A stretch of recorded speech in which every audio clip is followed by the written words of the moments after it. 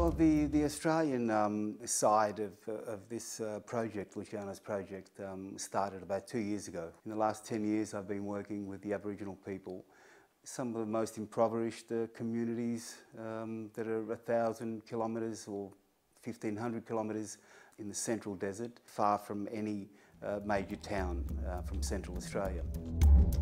What fascinates me about the, the Aboriginal people is the way they've lived for the last uh, 20, 30, 40,000 years, um, have lived off the land, um, are totally connected in a, in a spiritual way to the land. They've become part of the land in, a, in an extraordinary way. I guess I, my interest in, in Aboriginal culture more than anything else uh, wasn't a, a, money thing, it was more of a, a passion um, to learn about, um, about the culture um, that's right uh, there in front of our doorstep um, that not many people know about. The most known story about Aboriginal art is that it's, um, uh, it's a topographical um, of the artists painting their lands and the areas where they came from, uh, where they were born, significant sites that are important in their, in their culture, um, different for men and women uh, also. Um, I guess when when Aboriginal, the modern contemporary Aboriginal art started um, in the early 70s, it was, um, it became uh, like an outpouring of, uh, of emotions um, that the Aboriginal people couldn't convey in another way with language because of their language skills. And I guess they uh, wanted to show their heart to, um, to, to, the world, to, to the Australian people that didn't understand them. They paint uh, their significant sites, um, they paint their culture, um, they paint uh, areas where they were born, where they were raised. They paint to keep the, the dreamings alive, their mythological stories of, uh, of their dreamings, um, the most important things in their culture um, as a, a, form of preservation, I guess, into a, into a canvas. Um, but in another way, then we have uh, other artists who have moved on into a more contemporary area, um, that, uh, paint in a more contemporary style and have moved away from, um, from the Aboriginal um, uh, styles and, um, and, and, designs that they would um, paint on their bodies uh, during ceremonies. Um, but having said that, I think they still, um, the, the essence of their, their culture is still there in all of their paintings. It's, uh, it's basically, uh, it can be seen as a, as a picture without words. But they keep these things alive through their stories and through their dreamings from, that are passed on um, religiously from, um, from their grandparents to the parents to the children. It goes on and on.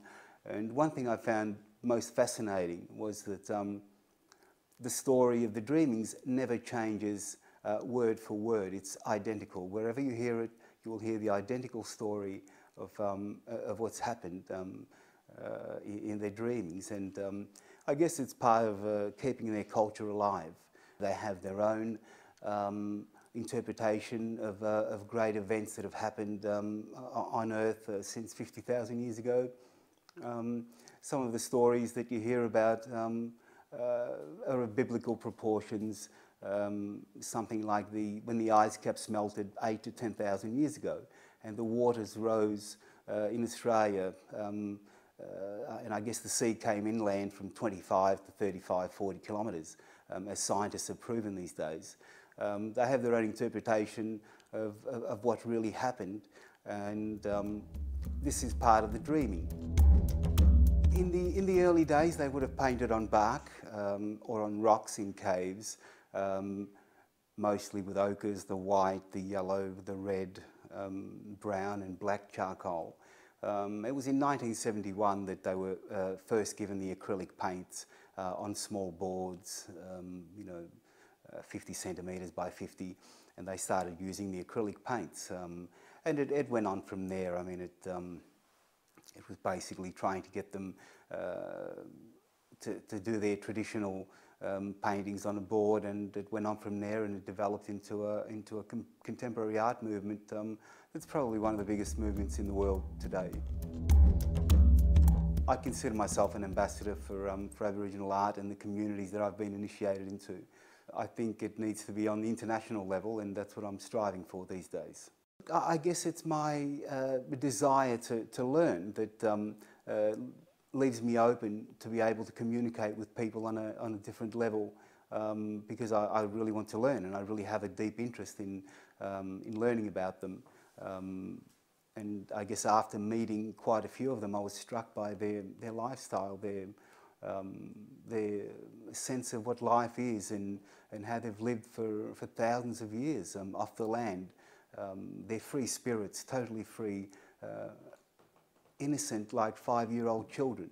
Um, not to say that they don't, uh, they're not very intelligent, but um, they have a, a purity that um, I really couldn't find uh, today in, in many places of the world.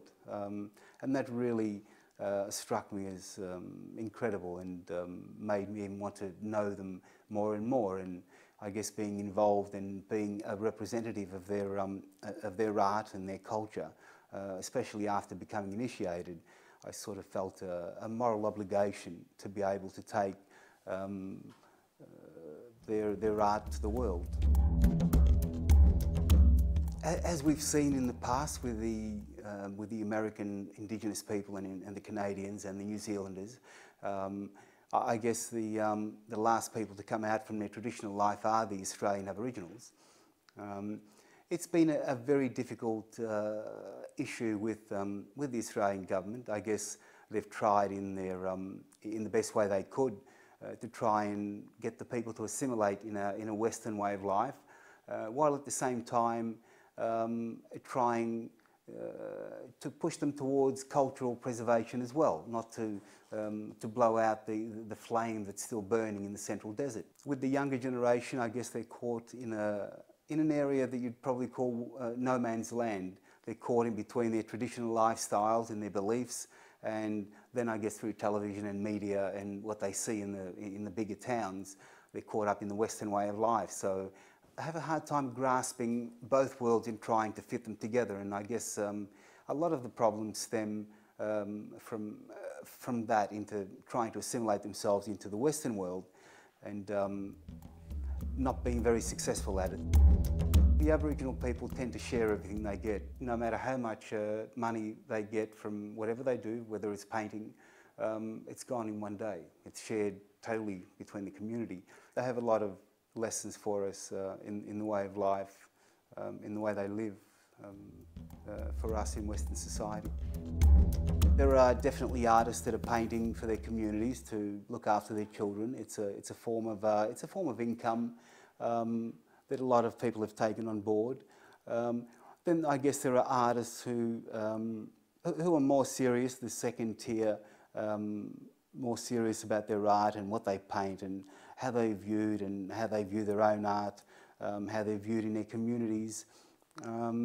And I guess then there is the, the upper echelon of, um, of the Aboriginal artists uh, that uh, don't paint for money. Um, Tommy Watson, for example, does not use any of his money. All the money goes to the communities. He's not an artist that will paint for the sake of painting to sell something to somebody. When he feels like painting, he will sit down and paint. Um, he takes pride in the fact that he doesn't paint for money, as he once said, like all those other fellas. If I did that, then my art would not be true. Tommy Watson holds the record in Australia for a living artist for a painting done in 2007. Um, he first came into prominence in 2003 uh, in, a, in an exhibition in Alice Springs. Um, everybody recognised that this was an exceptional talent. Um, I began, began to work with him in 2004 and um, we, um, we had a special relationship where when I was initiated, I went through tribal law, as they call it, as his son, um, and um, was initiated by all his relatives. So I became part of, part of that family group, which I'm still part of today. Um, I, I, guess his works have been um, the most uh, internationalized, I would probably say. Uh, the style that is uh, I guess uh, he's been compared to Kandinsky um, quite, quite a bit by, by many um, important people in the art world. You have to, once you stand in front of a Tommy Watson painting, you realise the importance of this artist. It's very hard to convey in words unless you stand in front of a, one of his works and, and feel the energy of his paintings. My first meeting with Luciano was in Sydney. We had um, quite uh, a conversation about Aboriginal art, and it's obvious that Luciano has a has a dream and a vision um, for all cultures and, and the whole world, uh, as with the project with the Piccolini. But uh, I think I think there is a, a small part that uh, that makes it feel a little bit more special. That uh, he thinks uh, there is something more there to be learned from the Aboriginal culture and the paintings, um, as opposed to Western art. I'm thrilled to be working um, with such a, a, special person on this um, on this project that has yet to um, uh, yet to flower, I guess. And I think it's only in the future that we'll see the importance of the Piccolini project.